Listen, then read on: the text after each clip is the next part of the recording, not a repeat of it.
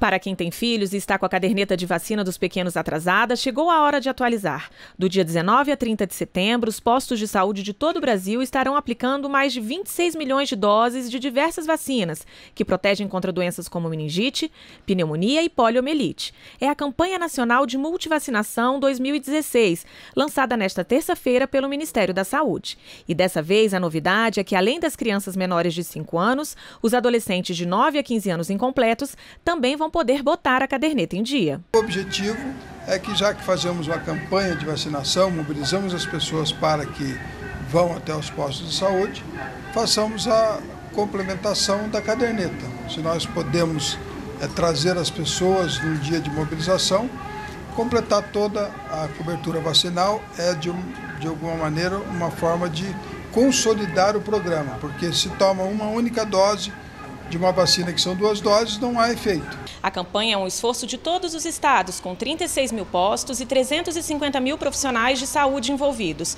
O dia D é no dia 24 desse mês, quando os postos estarão abertos durante todo o dia para atender a população. Mas tem muita gente que não espera as campanhas para se proteger.